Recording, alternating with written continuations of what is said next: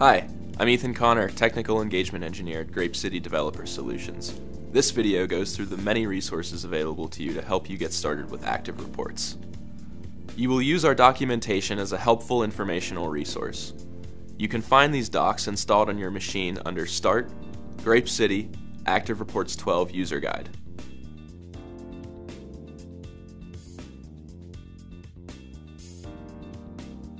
The documentation can also be easily found on our website under Support and Learning, Documentation, ActiveReports 12. To find documentation for older versions of AR, check under the Legacy section.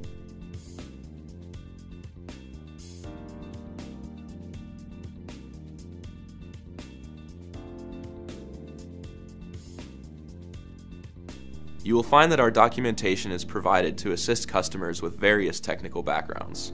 If you are an existing AR user, you may want to review the Upgrading Reports document to see migration paths and any breaking changes before you upgrade to the latest version.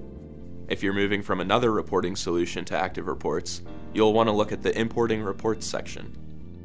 To help you quickly learn ActiveReports, we suggest going through the walkthroughs that cover reporting basics including many things such as data binding, layout, control specific features, exports, and other basics that are covered in the documentation as well. We also have informational resources in the forums and support section on our website.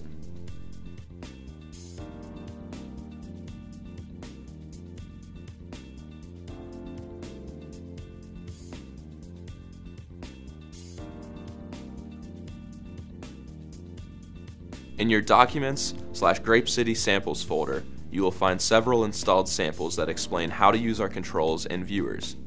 The samples show specific features such as data binding and exporting, and even creating an ad hoc report designer.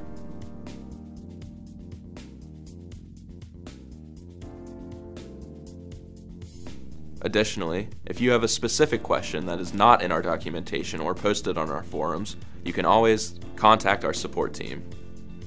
If you have any questions or suggestions, please don't hesitate to contact us or even tweet us at ActiveReports. You can get the newest version of ActiveReports by downloading from grapecity.com. Thanks, and see you soon.